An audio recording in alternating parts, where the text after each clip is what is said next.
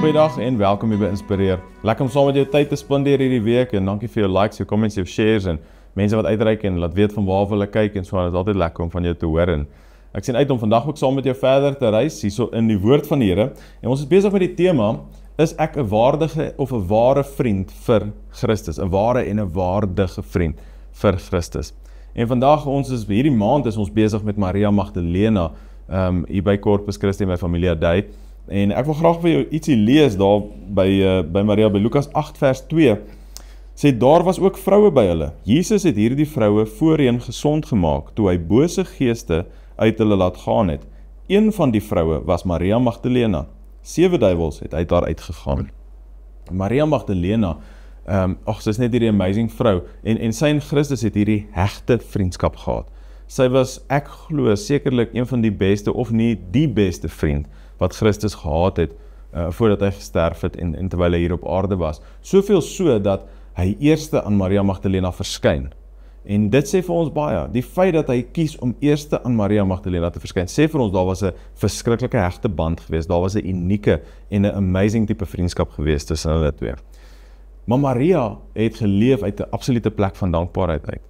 Sy is gered en, en ons lees hier so sewe duiwels het uit haar uitgegaan. Nou, mense kry nie sommer net sewe duiwels nie. Jy weet mense moet 'n sekere leefstyl leef. En uh as ek nou vir moet sê iemand het sewe duiwels in hulle dan dan is dit veilig om te sê dat daai persoon op pad hel toe is. Dat hulle die pad byster geraak het.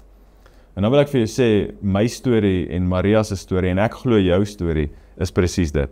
Ek was op pad hel toe en toe ontmoet ek vir Christus.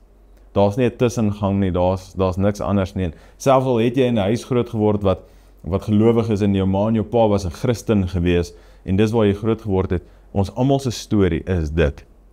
Ons het almal kort gekom van die glorie van God. Ons is almal op pad hel toe, maar Christus tree vir ons in. En in daai plek van dankbaarheid uit dien Maria Magdalena vir Christus die res van haar lewe. Nie net dit nie, sy gee alles sy is ingekoop in sy ministry. Ons ons sien hoe sy na Jesus omsien. Jy weet sy maak vir hom kos, sy sy vat vir hom uh, kos. Sy's ingekoop finansiëel met met haar met haar liggaam, met alles, met haar siel en gees, met haar verstand. Sy's ingekoop in Christus en sy ministry. En ons beleef net hoe sy uit 'n absolute plek van dankbaarheid uit in hierdie vriendskap met hom ingaan. Dit is 'n ware vriend. Jy weet hoe die res van die disippels weggekruip en weggehardloop het. Dit was nie Maria nie. Sy het daar gebly. En ek is seker as iemand daar moes vra, maar was jy nie ook saam met hom nie? Sy 100% sê ja. Nie net was ek saam met hom nie. Ons is goeie vriende. Hy is die beste vriend wat ek nog ooit gehad het.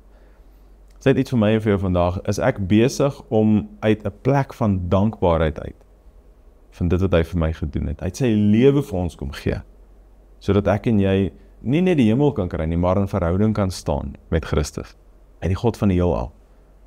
Hy kom bewys sy sy liefde, sy vriendskap vir ons dag na dag. Is ek dankbaar of is ek ondankbaar? Staan ek nog steeds bakhand en sê Here, wat kan ek vandag kry? Wat kan U vandag vir my gee? Hoe kan U my lewe verryk? Is my gesprekke met die Here net 'n lysie, 'n inkooplysie wat ek nou nodig het en wat ek vir die Here deurgee? Moet hy nou net aanhou vir my gee? Dankie dat U vir my gesterf het. Dankie dat U vir my die die prys betaal het. Maar kan ek nog kan ek nog vat, nog kry? Of is hierdie 'n wederwysige vriendskap? Is dit 'n vriendskap wat ek bydra tot die lewe van Christus? Is ek besig om sy evangelie verder te vat soos wat Maria gedoen het? Verstaan ek, besef ek en dra ek dit in my hart dat die prys wat hy vir my betaal het, het my gered. Hy het my verlos van die boosheid, my verlos van die ewige vuur. Hy wat Christus is. Mag ek en jy uit 'n lewe van dankbaarheid uit vandag net net en ons gaan dit nou bid ook net aan die Here toe kom ons Here vergewe my waar ek nie die vriend is wat ek moet wees nie. Vergewe my waar ek kort kom waar ek nie in hierdie vriendskap is. Vergewe my dat ek hierdie eensydige vriendskap gemaak het waar ek net alles wil hê en niks wil gee nie. Mag ek en jy vandag opnuut na die Here toe kom by sy voete val en hom net kom aanbid en vir die Here sê ek kies vandag om 'n goeie vriend, om 'n goeie vriendin vir u te wees. Ons bid saam. Here, ons sê vir u dankie weer eens vir u vriendskap. Meer as dit, Here, dankie dat u ons verlos. Dankie dat u vir ons kom sterf. Dankie dat u ons kom red van die hel. Here, dankie net dat dit gebeur omdat u ons so liefhet. Omdat u kies om ons vriende te wees. Here, dit is ons verklaring vandag, Here, dat ons kies u oor en oor. Here, ek bid dat U my sal kom vergewe. Wie ook al vandag kan kan saamstem waar ons hierdie eensydige vriendskap gemaak het. Waar ons net bak kan staan en net nog en nog en nog soek. Here wil ons vandag na U toe kom en sê dankie. Here, dankie vir vryheid. Dankie vir verhouding met U. Dankie vir hierdie vriendskap. Dankie vir die ewige lewe. Dankie vir herstel. Dankie vir U Gees. Dankie dat ons kan deel hier aan die koninkryk, Here. Dankie dat U ons vertrou met U evangelie en om mense te gaan vertel. Dankie, dankie, dankie. Dis ons gebed vandag, Here. Ons besef vandag opnuut wat U vir ons kom doen het en mag U beleef in ons hart, Here, ons is opreg dankbaar. Ons loof en ons prys U in Jesus naam. Amen.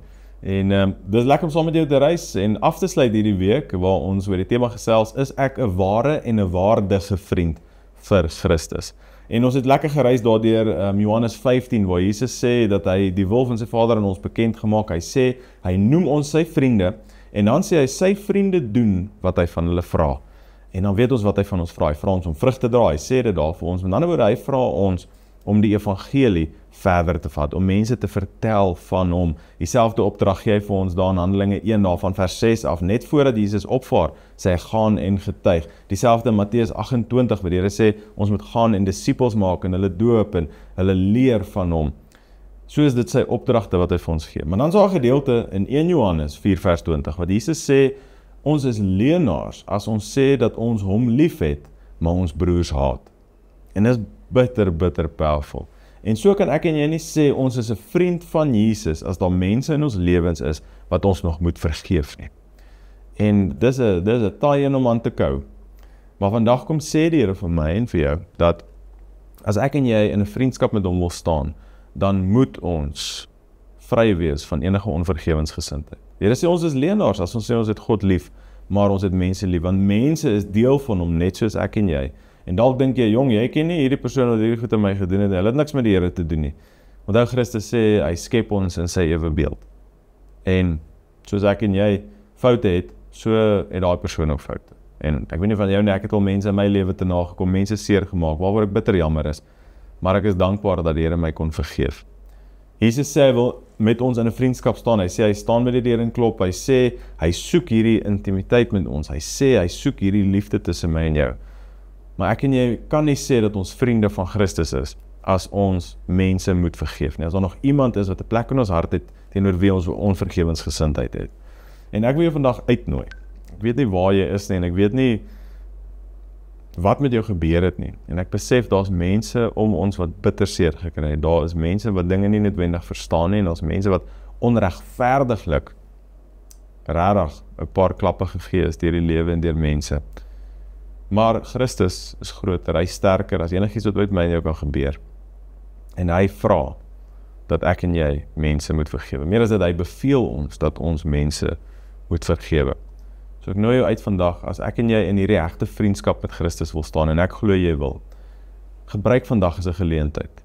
Gebruik vandag as 'n geleentheid om te kom en te sê ek kies vandag om hierdie reg te maak. Ek kies vandag om mense te vergeef sodat ek ook vergifnis kan ontvang want dis wat ons bid in die onsse Vader ons sê vergeef ons uh, ons sondes soos ons die vergeef wat teenoor ons sondig so wat ek eintlik daarso sê is Here hanteer my soos ek my grootste vyand hanteer as jy mooi daaroor dink dis wat ons bid maar verstaan ons dit is ons besig om mense te vergeef op 'n daaglikse basis is my gebed vir jou dat jy mense vandag sal vergeef maak 'n lys bid daaroor spreek hulle vry en maak seker dat jou hart skoon kom van enigiets of enige iemand wat besig is om jou te verhinder om 'n verhouding met Christus te hê. En dit is nie daai mense se skuld nie, dis my skuld, my eie onvergewensgesindheid.